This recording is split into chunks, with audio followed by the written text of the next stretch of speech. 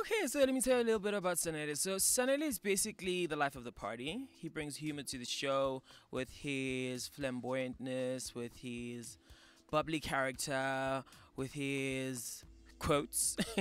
He's one of the people on the show that shows more of the real youth life that we're living in in terms of jokes he knows what's going on he knows who's doing what every sentence is relevant to what's happening in the country right now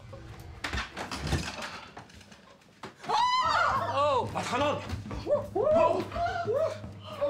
Sanele. the relationship between Petra and Sanele is like the most important relationship to Sanele because Sanele knows everything that's happening in Petra's life. Petra knows everything that's happening in Sanele's life, sort of.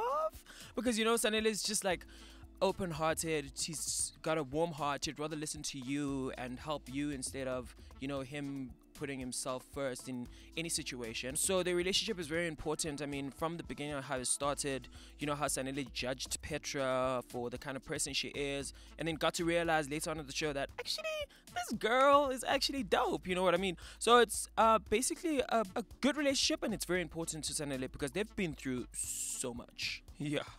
Okay, who does Sanele prefer actually for Petra? SJ or Jono? I mean, Sanele prefers SJ because of the racks and the money. You know, of course Sanele will prefer SJ. I don't think he really prefers Jono because Jono was such a a quick move. You know what I mean?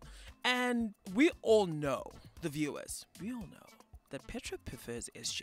You know, because I mean, it was Petra's first love and also the money's there. She always acts like there's no money or she's not after the money, but she knows she's after the money.